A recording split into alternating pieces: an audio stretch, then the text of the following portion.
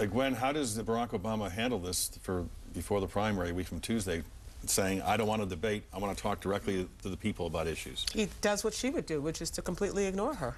Uh, there's, th when you look at it from his point of view, especially given how well he does not necessarily do in debates, there's no incentive to do it.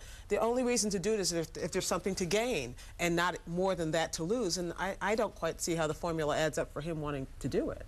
You? No, not at all. And what they want to do is they want to get pictures of him with regular people, real people. I mean, this problem with, with downscale voters exists. They want to try and fix it. So he's talking about things like gas prices, things that affect them in their daily lives, and talking about how his reform message affects them in their daily lives. So they don't want to be on the stage. He didn't do well in the last debate. He hasn't done well in the debates. And all the exit polls, the people who base their decision on watching the debates always go for Clinton. He doesn't want to be on that, that stage. He wants to be seen with regular people. And so they're not they're going to, as you say, ignore it. Richard, do they think they pay a political price by not debating?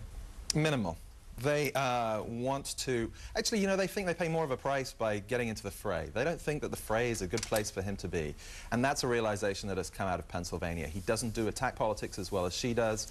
Uh, so they'll put that into the hands of surrogates. And uh, as for this ambush type approach of a debate, which is how they felt, rightly or wrongly, the ABC debate was, they're going to avoid it. And look, anytime you hear a candidate talk about Lincoln Douglas debates, you know they're running some way behind. Mike Huckabee was the last guy to do that. But I, I, I, disagree a bit with my colleagues because I think he does pay a price because the real constituency now that they're fighting over are the superdelegates. And by her showing that he is unwilling to face her, he reminds them that in, if he's their nominee, he will have to face John McCain, whose manager, Rick Davis, has said publicly, we want more debates.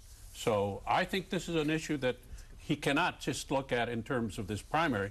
He's got to figure out what's the effect on the superdelegates. The Pew uh, Center has done some research about the campaign, and Democratic views have changed. This is what they found. Democratic views of the tone of the campaign have changed substantially since February. Currently, half the Democrats, 50%, say the campaign's been too negative, more than double what was being said in February, 19%. Two-thirds of the public, 65%, and even Democrats, 57% majority, see the campaign as too long.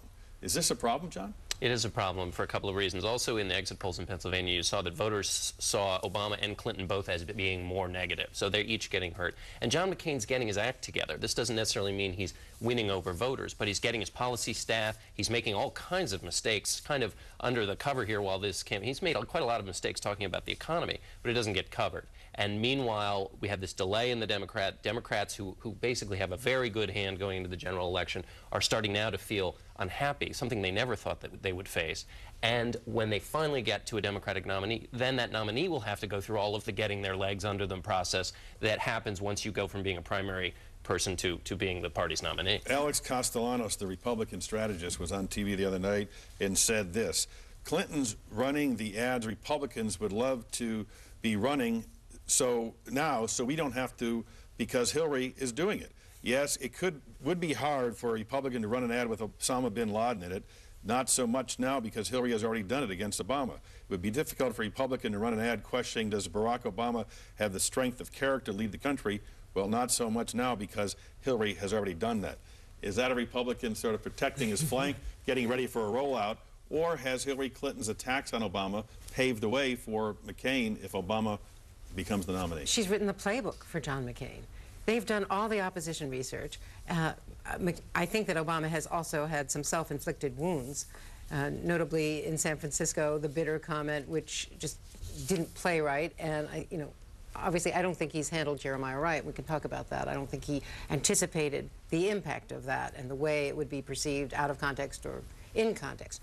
But Hillary Clinton has laid out a roadmap for the Republicans. And that is one of the uh, Obama arguments. The Obama supporters arguing that she is destroying him, uh, even if he is the nominee and he is the presumptive nominee and the front runner, certainly. Jeremiah Wright, has, a former pastor for Barack Obama, has reemerged. He's speaking to the NAACP in Detroit today at the National Press Club tomorrow. He was on with Bill Moyers on PBS on Thursday, and let's watch a piece of that exchange. Barack Obama was a skeptic when it came to religion. He sought you out because he knew you knew about the community. You led him to the faith. You baptized him. You performed his wedding ceremony. You baptized his two children. You were for 20 years his spiritual counselor. He has said that. And yet he, in that speech at Philadelphia, had to say some hard things about you. How did it go down with you when you heard Barack Obama say those things? It, it went down very simply. He's a politician, I'm a pastor. We speak to two different audiences. And he says what he has to say as a politician. I say what I have to say as a pastor. Those are two different worlds. I do what I do. He does what politicians do. So that what happened in Philadelphia, where he had to respond to the sound bites, he responded as a politician. Gwen Ifill, a pastor's daughter that covers politics? that pastor's daughter thing is going to haunt me forever. Um, you know what? I listened to that and I thought, exactly. Since when is Barack Obama not a politician? This idea that he is, uh, sure, he has, he has created himself as this I'm above it all, I'm going to change Washington kind of guy, but I never was confused about whether he was a politician. I don't think most voters were confused about whether he's a politician.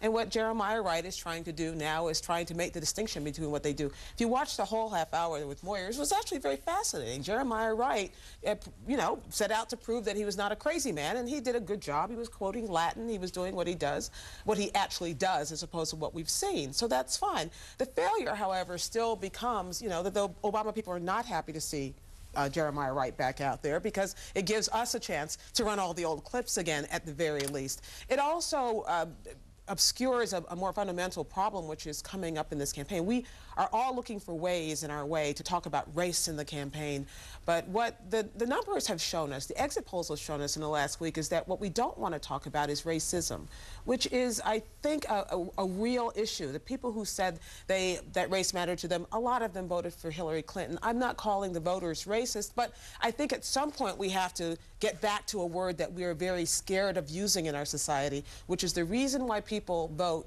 against someone because of their race is not a positive reason, it's a negative, and racism is a negative quality.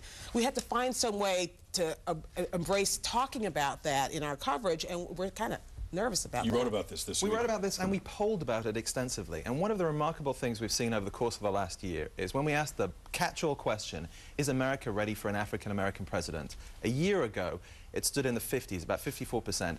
Today, in the 70s, this country, as it's watched this election move forward, is taking a different view. Now, that's not saying the people who, who say America isn't ready for an African-American politician are saying they are racist. They may just suspect it. One of the things we saw in 2000 was the group that was most skeptical about Joe Lieberman as a Jewish vice president were actually Jewish voters. So there is something of a recalibration of people's attitudes going on as this campaign has gone forward. We shouldn't lose sight of how positive that is.